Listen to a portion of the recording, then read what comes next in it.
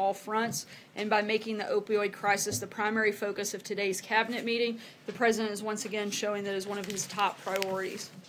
There's a long road ahead and much work to be done, but we will not rest until our streets are safe, our families are secure, and the victims of this terrible e- epidemic are able to live a life free of addiction. As the president noted yesterday and again today during the cabinet meeting, the chemical weapons attack by Syrian regime against innocent civilians is horrifying. The images, especially of suffering children, have shocked the conscience of the entire civilized world. Sadly, these actions are consistent with Assad's established pattern of chemical weapons use.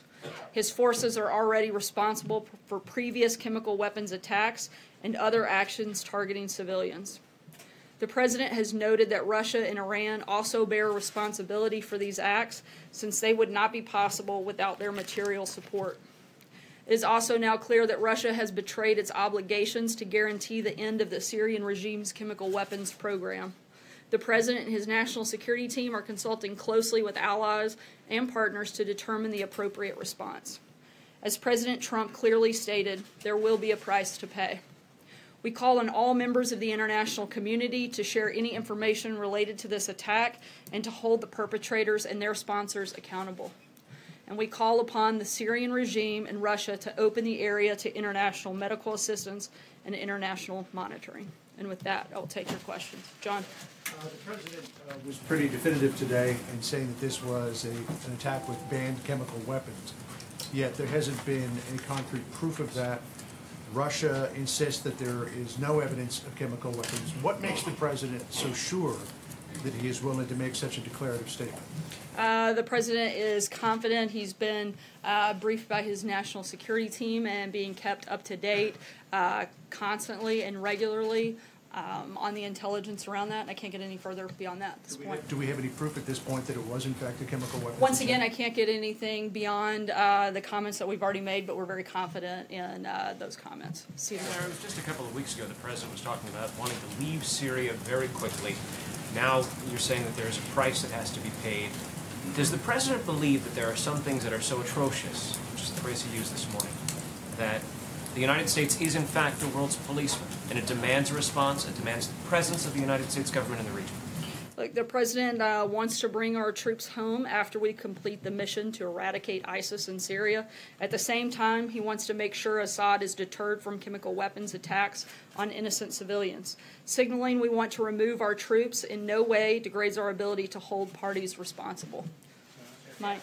Has- Has the president been briefed that his comments about wanting to leave Syria could have played a part and have emboldened Assad and played a part in, in, in these attacks? Uh, the only individuals that played a part uh, don't reside in this country, and I think we've made very clear who we think uh, is responsible for these attacks. And to try to conflate that and make uh, this on any part uh, and blame on this president is absolutely Has ridiculous. criticized others for signaling uh, military plans. It seems to be what he was doing here. Does he regret those comments that he made last week? The president's been clear that he wants to make sure uh, that we have the defeat of ISIS. We've also been clear in our actions, as you have seen uh, after previous chemical attacks, what this president uh, has done, and I think we've been very uh, upfront on that. Zeke. Hey, thanks, Sarah. First, uh, the news yesterday this morning about apparent strikes uh, carried out overnight.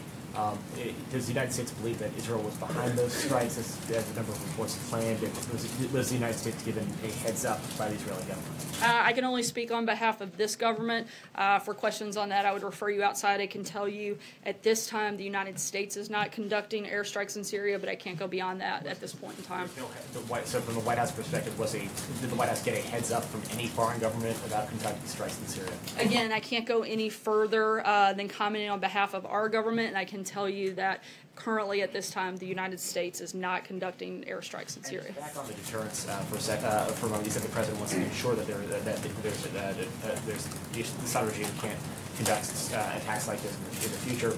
Last year, when the president launched those cruise missiles, he had said there was a deterrent. Obviously, what has changed between uh, you know sort of months ago when the Assad regime wasn't using chemical weapons and, this, this strike now was it seemed to be uh, the timing coming so so soon after the president making that that, that determination on uh, on, on, wanting to pull U.S. troops out of Syria. That there was, that- you can see why we're drawing the, time, the timing there. So why, in the, the president's estimation, is did his deterrence, uh, his attempt to sort of establish a deterrent effect on the Assad regime now failing?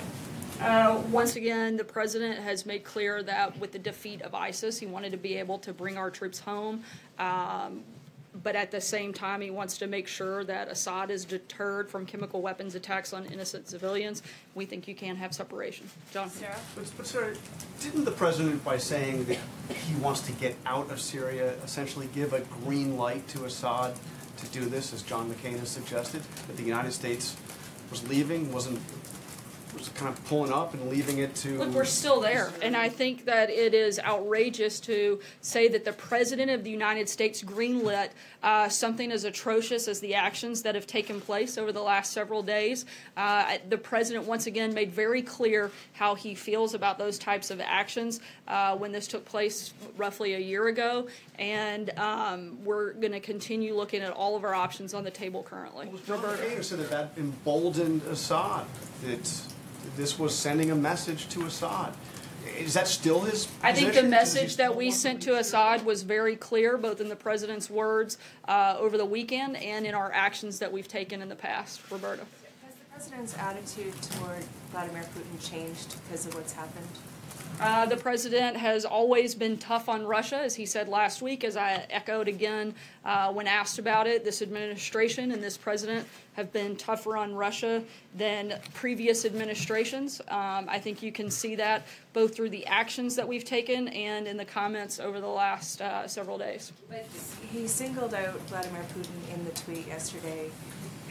Does he feel that he can still sort of find find some common ground and work with him on various things? Uh, the president still feels uh, that if we can have a good relationship with Russia at some point, that that's a good thing for the world. But at the same time, this president uh, is going to be tough on Russia until we see some changes in their behavior, just as we've done um, every day over the last year, and as we've outlined multiple times before, both from the president uh, and as I've done from this podium on many occasions. John, in the back. Yeah, thank you, Sarah.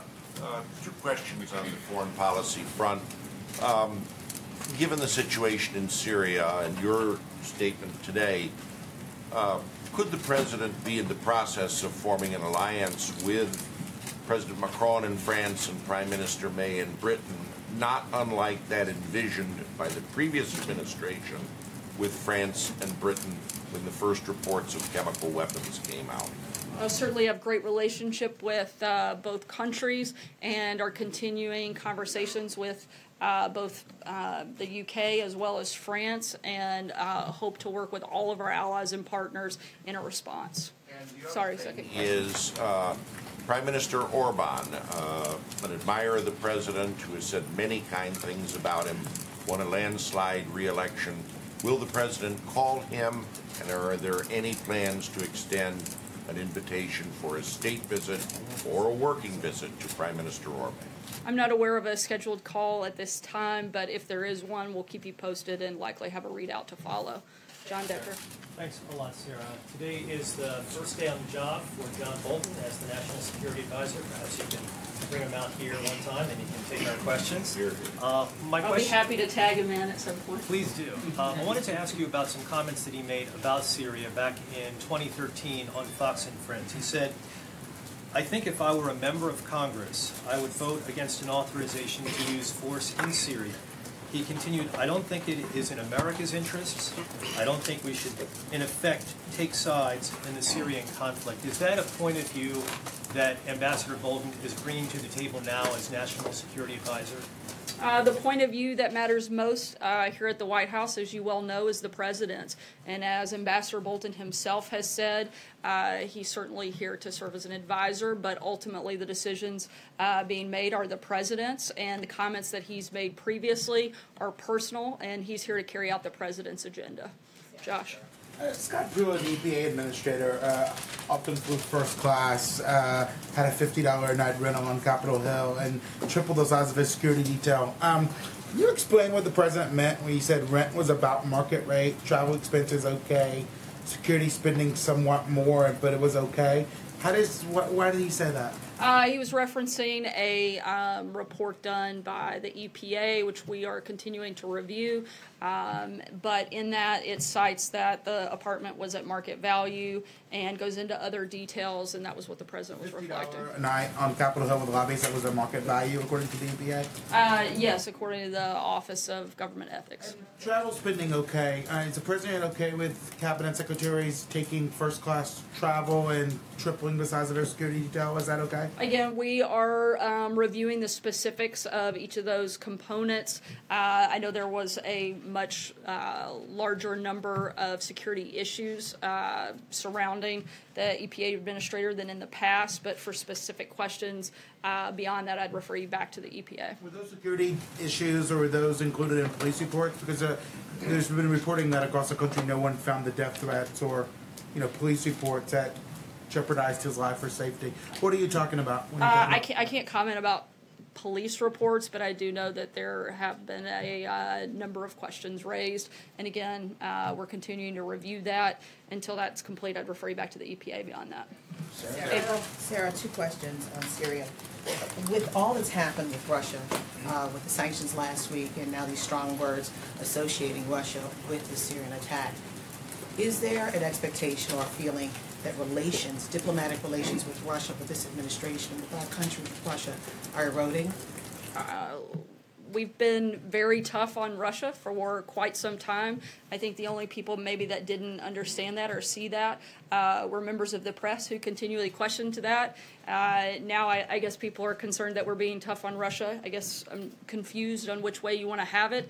Uh, the president would like to have a good relationship, but that's going to be determined by the actions that Russia takes, and um, we're going to continue pushing forward. And second question, the, the the items on the table, um, beyond strikes, is there, um, a a thought or, or on the table regime change with Assad?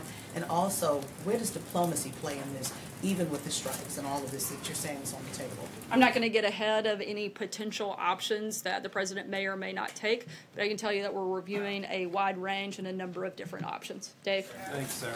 At at the cabinet meeting this morning, the president was talking about the potential impact of Chinese tariffs on American farmers, and he said the farmers are patriots for being willing to take a hit. Um, And then he said, "We'll make it up to them." What did he mean? Uh, the president has worked with his team to determine how best to respond to China's attack on American farmers, and he's asked the Department of Agriculture to protect our farmers, and will present a plan on specifics, specifics of that shortly. Would you Consider uh, like extra crop insurance subsidies that are often put in the farm bill for market uh, fluctuations? I'm not going to get ahead of uh, potential options, but the president has asked the Department of Agriculture to come back with some specifics that we'll pronounce or announce to you guys shortly. Hallie? Thanks, Sarah. I've got two for you. First on Syria, um, we talked about the idea of, of a possible military option being a deterrent. Last year, we heard something very similar from the president, who called that chemical attack last year an affront to humanity, said it cannot be tolerated. Is the White House worried that Assad is now making a mockery of President Trump's threats? Uh, not at all. What our concern is about uh, is the fact that the Assad regime has taken an outrageous action against innocent civilians. Our focus is on responding to that, um, and that's what we're looking at. And then I wanted to follow up on something from last week, just because we didn't get a chance to, and specifically your comments um, citing the LA Times article when asked, uh, I think by John here, about the president's rape remarks at that uh, event last week uh, that didn't actually back up the president's claims. You actually, last fall, admonished reporters to make sure that we hold ourselves to a high standard of accuracy. President also need to be held to that same standard of accuracy? Absolutely, and as I said uh, that day, um, it has been well documented that a number of those individuals, going back even to 2014, where there were uh, multiple articles and studies uh, put out that said 80% of the women that make that uh, that go through that process and uh, try to enter the country are raped through that process. Um, something certainly that I think should be concerning to all of us, and certainly something that the president has voiced concern about. And what about the voter fraud claim that the president made last week as well, also not backed up by evidence? I'm sorry, can you be more specific? Yeah, the president talked about those claims of voter fraud again. It's something he's repeatedly brought up. It's just giving the idea when words matter, particularly in moments of a lot of international pressure, like this moment right now, what his standard of accuracy is when he's to Certainly, the American public. uh, the president still strongly feels that there was a large amount of voter fraud and attempted to do a thorough review of it, uh, but a lot of the states didn't want to cooperate and participate. Uh, we certainly know that there were a large number of incidences reported, but we can't be sure exactly how much because we weren't able to conduct the full review that the president wanted because a number of states did not want to cooperate and refused to participate. Mr. Mayor? Yeah, two questions regarding Scott Pruitt. Um, how long is the review going to take, um, that the White House is conducting? Uh, I'm not going to lay out an arbitrary timeline, but it's something that we're looking into and continuing to, you know, take under consideration. Or years? I mean, I, obviously, we want to get through this process as quickly as we can, uh, but I'm not going to just make up a time frame here today. Okay, and did, uh, Chief of Staff John Kelly recommend that Pruitt be fired? Uh, I'm not going to get into any private conversations. Blake, welcome back. Thank you. Congratulations. Thank you, thank you, appreciate it. Um, I want to ask you about uh, Mark Zuckerberg headed to the Hill to testify. This administration has often talked about deregulation and the deregulatory efforts that the president and this administration has undergone, but there's a question of whether or not Facebook should be regulated. Uh, Does the White House have a stance on whether or not Facebook should be regulated, and if so, what is that position? I don't have a specific policy announcement on that front, but I think uh, we're all looking forward to that testimony today. What does the president, um, what does the president make of Mark Zuckerberg? Does he have an opinion of him? Larry Kudlow was fairly critical of him, uh, both on Fox News Sunday yesterday and, and when I asked him about uh, Zuckerberg this morning. Uh, does the president have any sort of opinion on Mark Zuckerberg? Uh, you know, I haven't asked him directly. I'd have to check and get back to you. Take one last question, Jim. Is there anything that the uh, Syrians can do at this point to prevent military action from being taken? Uh, I'm not going to get ahead of what actions we may or may not take, uh, so I can't really answer that question.